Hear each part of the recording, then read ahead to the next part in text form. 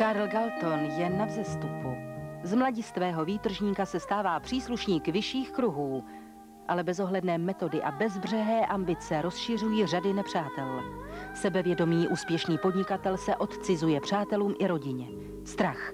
V pátek večer.